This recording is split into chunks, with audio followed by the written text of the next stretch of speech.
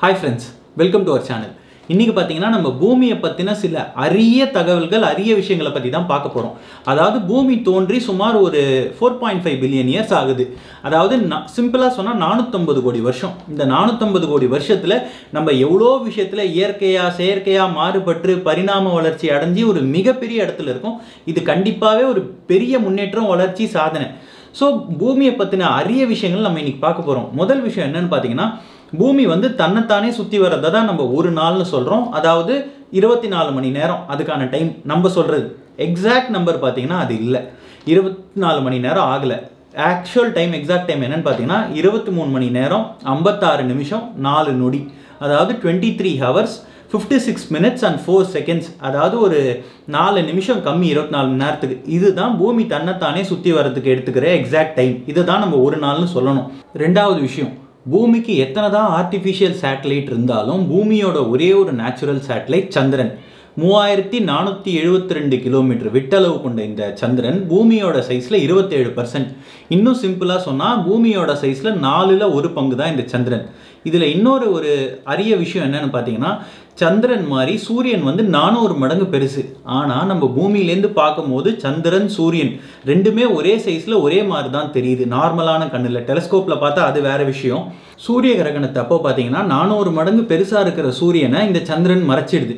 இது எதனாலன்னு பார்த்தீங்கன்னா டிஸ்டன்ஸ்னால தான் சந்திரன் வந்து பூமியிலேருந்து மூவாயிரம் சாரி மூணு லட்சத்தி எண்பத்தி நாலாயிரம் கிலோமீட்டர் டிஸ்டன்ஸில் இருக்குது ஆனால் சூரியன் பார்த்தீங்கன்னா அதோட நானூறு மடங்கு தள்ளி இருக்குது அதாவது பதினஞ்சு கோடி கிலோமீட்டர் டிஸ்டன்ஸில் இருக்குது மூணாவது விஷயம் ஆயிரத்தி தொள்ளாயிரத்தி தொண்ணூத்தெட்டாம் வருஷம் உலகமே பார்த்து வியந்து போகிற அளவுக்கு மனுஷனால் பூமிக்கு வெளியில் விண்வெளியில் கட்டமைக்கப்பட்ட இந்த சர்வதேச விண்வெளி மையம். அதாவது இன்டர்நேஷ்னல் ஸ்பேஸ் ஸ்டேஷன் சுருக்கமாக ஐஎஸ்எஸ்ன்னு சொல்லுவாங்க.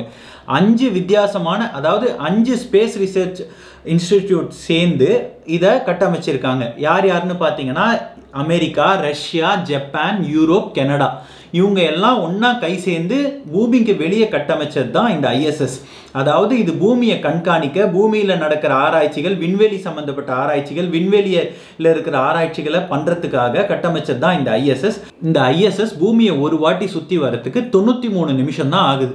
அதாவது அப்போ பார்த்தீங்கன்னா ஒரு நாளைக்கு பதினஞ்சு புள்ளி அஞ்சு முறை பூமியை இது ஈஸியாக சுற்றி வந்துடுது நாலாவது விஷயம் அக்டோபர் நாலாம் தேதி ஆயிரத்தி தொள்ளாயிரத்தி ஐம்பத்தி ஏழாவது வருஷம் விண்வெளி ஆராய்ச்சியோட முதல் மைல்கல்லா ரஷ்யாவால் விண்வெளிக்கு அனுப்பப்பட்ட முதல் சேட்டலைட் தான் ஸ்பூட்னிக். இதுக்கப்புறம் இந்த அறுபது வருஷ காலத்தில் பார்த்தீங்கன்னா மொத்தம் எட்டாயிரத்தி முந்நூறு சேட்டலைட் அமைச்சிருக்காங்க. அதில் வந்து மிச்சம் இருக்கிறது இப்போ ஆக்டிவில் இருக்கிறது ரெண்டாயிரத்தி இரநூறு சேட்டலைட் தான் ஆக்டிவில் இருக்குது ஸோ மிச்சம் இருக்கிற சேட்டலைட்லாம் என்ன ஆகுது அப்படின்னு பார்த்தீங்கன்னா சின்ன சின்ன சேட்டலைட் சின்ன சின்ன சேட்டலைட்ஸ்லாம் என்ன ஆகும்னா உங்களுக்கு தானாகவே ஒரு ஆர்பிட்டில் வரும்போது அதோட பேட்டரி சார்ஜ் தா காலியாகும் போது தானாகவே அந்த ஹீட் தாங்காமல் எரிஞ்சிரும்.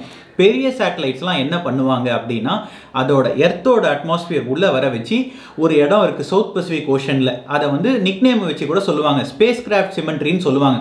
சயின்டிஸ்ட் எல்லாமே அந்த மாதிரி ஒரு அதோட லைஃப் டைம் முடியிற சேட்டலைட்டை அந்த இடத்துக்கு வர வச்சு அந்த கடலில் விடுற மாதிரி பண்ணிடுவாங்க. எதனால் அந்த இடத்த தேர்ந்தெடுத்திருக்காங்க அப்படின்னா அது வந்து ஷிப்பிங் டிராஃபிக்கும் அதிகமாக இருக்காது.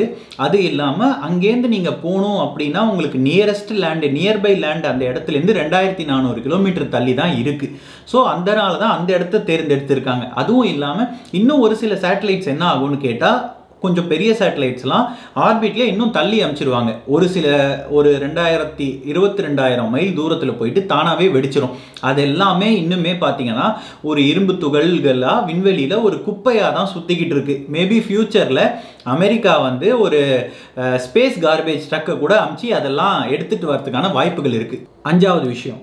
உலகத்தில் இயற்கையால் படைக்கப்பட்டதில் ரொம்ப அழகானது ரொம்ப அருமையானது தான் இந்த அண்டார்டிகா.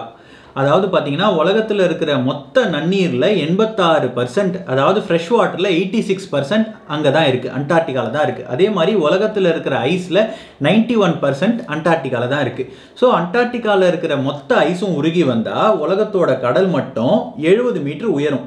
சிம்பிளாக சொன்னால் இரநூத்தி முப்பது அடி. அதாவது ஒரு இருபத்தஞ்சு மாடி ஹைட்டுக்கு உயரும்னு வச்சுக்கோங்களேன். ஸோ பார்த்தீங்கன்னா உங்களுக்கு எல்லா நகரங்களும் நிமிஷத்தில் முழுகிடும். அதனால தான் சொல்கிறாங்க இந்த குளோபல் வார்மிங் ஆகாமல் பார்த்துக்கோங்க முடிஞ்ச வரைக்கும் சின்ன சின்ன விஷயத்துலேருந்து ஹெல்ப் பண்ணுங்கள் அண்டார்டிகா உருகுது உருகுதுன்னு. அதனால தான் சிம்பிளாக எல்லாருமே சொல்லிட்டு இருக்காங்க. ஏழாவது விஷயம் சூரிய குடும்பத்திலேயே உயிரினங்கள் வாழ்கிறதா சொல்லப்படுற ஒரே ஒரு கிரகம் நம்ம பூமி மட்டும்தான். அதாவது பத்து மில்லியன் உயிரினங்கள் வாழ்கிறதா எஸ்டிமேட் பண்ணியிருக்காங்க இந்த பத்து மில்லியனில் ஒரு மில்லியனுக்கும் மேலே கடலுக்கு அடியிலே கடலுக்கு அடியிலேயே அதுலேயும் பார்த்தீங்கன்னா இந்த பூமி வந்து பூமியோட அளவில் எழுபத்தோரு பர்சன்ட் தண்ணியால் ஆனது. ஸோ அந்த கடலுன்ற போது எப்போவுமே நமக்கு ஒரு ஆச்சரியம் அற்புதம் தான் அந்த ஒரு மில்லியன் ஜீவராசிலையும் பார்த்தீங்கன்னா நம்மளால் ஒரு பத்து பர்சன்ட்டை மட்டும்தான் கண்டுபிடிக்க முடிஞ்சிருக்கு. ஸோ மீறி இருக்கிற தொண்ணூறு பர்சன்ட்டு நமக்கு தெரியாத ஜீவராசிகள் தான் கடலுக்குள்ளே எவ்வளோ காலங்காலமாக கோடி கோடி ஆண்டுகளாக வாழ்ந்துக்கிட்டு இருக்கு. எட்டாவது விஷயம் இயற்கையால் படைக்கப்பட்ட அழகான அற்புதமான பல மர்மங்களையும் அதிசயங்களையும் உள்ளடக்கின இந்த தென் அமெரிக்காவில் இருக்கிற அமேசான் மழைக்காடு. உலகத்தோட இருபது சதவீதம் ஆக்சிஜன் இங்கே தான் உற்பத்தி ஆகுதுன்னு சொல்கிறாங்க உலகத்தோட நுரையீரல்னு கூட சொல்லுவாங்க அமேசான் மழைக்காடை. அதாவது உலகத்தோட ஐம்பது பர்சன்ட்டுக்கும் மேலான உயிரினங்கள் இங்கே தான் வாழுது. மனுஷனால் கண்டுபிடிக்க முடியாத விஷயங்கள் கண்டுபிடிக்கப்படாத தாவரங்கள் அதாவது உயிரினங்கள் மருத்துவ குணமுடைந்த தாவரங்கள் பல விஷயங்கள் பார்த்தீங்கன்னா இந்த அமேசான் ரெயின் ஃபாரஸ்டில் இருக்குது ஒம்போதாவது விஷயம் நமக்கு தெரிஞ்ச வரைக்கும் பூமின்றது ஒரு வட்டமான வடிவில் ஒரு பந்து மாதிரி இருக்கிறதா தான் எல்லா இடத்துலையும் சொல்லப்பட்டிருக்கு காமிச்சிருக்காங்க நம்மளும் பார்த்துருக்கோம். ஆனால் அது உண்மை இல்லை. பூமின்றது வந்து ஒரு ஷேப் இல்லாமல் ஒரு பாறை மாதிரியோ இல்லை ஒரு கூழாங்கல் மாதிரியோ இர்ரெகுலர் ஷேப்பில் இருக்கிறது தான் பூமியோட சைஸ் அதாவது சயின்டிஃபிக்கல் டேர்ம்ஸில் சொன்னால் இந்த நார்த் போலில் சவுத் போல்லையும் தட்டையாகவும் ஈக்குவேட்டரில் பல்ஜாயும் இருக்கிறதுனால இதை வந்து ஆப்லேக் ஸ்பெராய்டுன்னு சொல்லுவாங்க. பத்தாவது விஷயம். நீங்கள் பார்த்துட்டு இருக்கிற இந்த புகைப்படம் தான் பூமியோட முதல் புகைப்படம் விண்வெளியிலேருந்து எடுக்கப்பட்டது. அக்டோபர் இருபத்தி நாலாம் தேதி ஆயிரத்தி தொள்ளாயிரத்தி நாற்பத்தாறாவது வருஷம் எடுத்த புகைப்படம் இது. அதாவது நமக்கு தெரிஞ்ச வரைக்கும் முதல் சேட்டலைட்டே ஆயிரத்தி தொள்ளாயிரத்தி ஐம்பத்தேழில் தான் அமைச்சாங்க ஸ்மூட் ஸ்பூட்னிக்ன்ற சேட்டலைட் ஆனால் பதினோரு வருஷம் முன்னாடியே இந்த ஃபோட்டோ எப்படி எடுத்திருக்காங்க அப்படின்னு கேட்டால் அதாவது வேர்ல்டு வார் டூ முடிஞ்ச உடனே அமெரிக்கா ரஷ்யா மாதிரி நாடுகள் எல்லாம் ஜெர்மனியை கைப்பற்றி அந்த சயின்டிஸ்ட்டை வச்சு அங்கே தயாரித்த மிசைல் ராக்கெட் அமைச்சு எடுத்திருக்காங்க.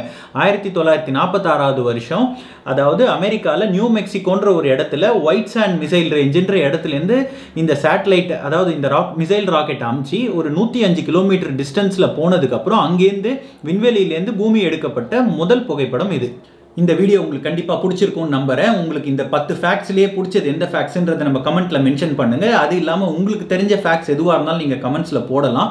கண்டிப்பாக இந்த வீடியோவை லைக் பண்ணுங்கள் ஷேர் பண்ணுங்கள் அது இல்லாமல் நம்ம சேனலுக்கு மறக்காமல் சப்ஸ்கிரைப் பண்ணுங்கள் இன்னொரு சுவாரஸ்யமான வீடியோவோட உங்களை நான் கூடிய சீக்கிரம் மீட் பண்ணுறேன் தேங்க்யூ பாய்